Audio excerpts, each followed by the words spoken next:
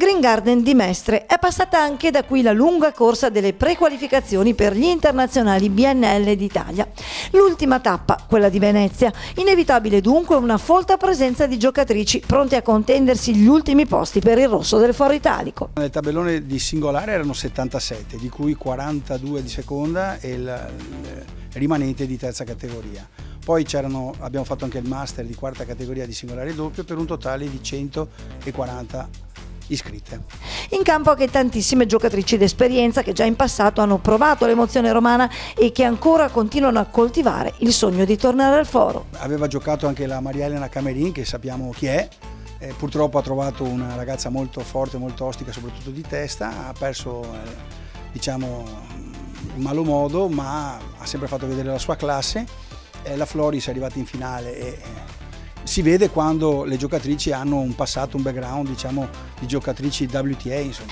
Anna Floris non solo è arrivata in finale ma quella finale l'ha anche vinta, conquistato il primo set per 7-5, il successo per la giocatrice sarda è arrivato con il ritiro di Angelica Moratelli, vincitrice delle prequali venete nel 2017. Sì, mi dispiace tanto per la finale, per non averla giocata sino, sino in fondo, mi dispiace per Angelica perché non è stata bene durante la, la partita Diciamo che è stata una settimana dove sì, stavo in forma, però non al 100%, non mi sentivo al 100%, ero anche un po' stanca, però poi alla fine man mano che giocavo ho trovato feeling eh, un po' con tutto, anche con me stessa. Mi dispiace molto perché sarebbe stata un'ottima finale, tutta da giocare, sia vincendo sia perdendo, sarebbe stata una bellissima partita.